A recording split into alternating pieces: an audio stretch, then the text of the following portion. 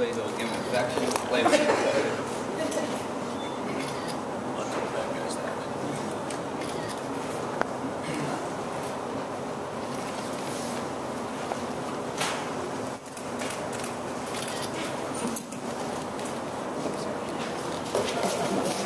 him.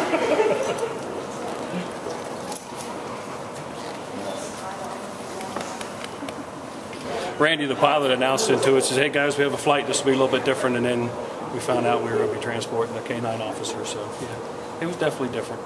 We bounced it off the handler and said, you know, what, what he wants to do, and he said anything you can. So uh, IV oxygen and the dressing that we applied to his neck were all standard things we would do. So, but different though. We didn't know medicine-wise what to give him to calm him down or anything.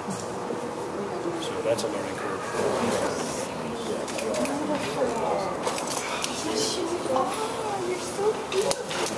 Still, too.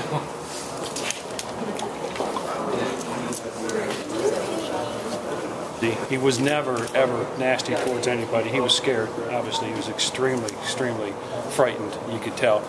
Ty did, his handler did a great job keeping him under control. Uh, the hardest thing was just he was so worked up, was trying to keep him down, uh, strapped in, and all that kind of stuff. He didn't want him to get free and back of the helicopter or fall off the wall while we were carrying him.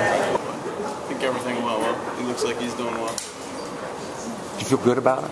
Absolutely. Especially the next day or the next day after that when you heard he's still alive and you played a role in it?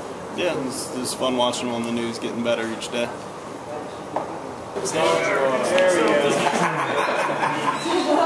There we go. Awesome. Perfect. I'm sorry.